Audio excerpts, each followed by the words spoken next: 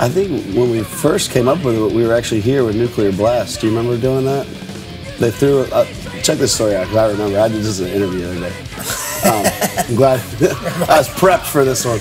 No, we we uh, we were walking around doing press for Fatal Feast, and um, the press agent at the time was throwing um, famous book titles at, at us, and she said to make them a waste title, and she said Crime and Punishment, and you immediately said Slime and Punishment. Do you remember doing that, Low Remember Honor? that? This guy's got the craziest memory. I remember wild stuff like the that. craziest things. Yeah, so it was just we always did like a play on, on words for a lot of songs. So I mean, it, like I guess uh, the classic novel Slime. Uh, cli- uh, please take that back. Cl- climbing. Cl- We're climbing punishment. It's ten in the morning, man. Making me talk about this. No, we um, it's like our take on crime and punishment, but really just in the title. You know, it's not like we read the book or anything. Books.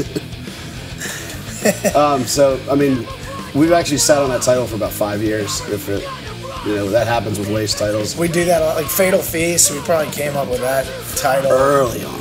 But yeah, I mean like before Hazardous came Yeah, out. maybe. with Brandon. Like I, I remember, uh, but we weren't ready for a space album yet. Like Yeah, in our we- career, yeah, you had to have it had to be like the later. fourth or fifth album, just like the fourth or fifth movies. The when the horror movie goes to space. So we sit on a lot of titles um, in our back pocket until they're ready. So, I got a little list in my phone of shit that's coming out 12 years from now. yeah, stay tuned.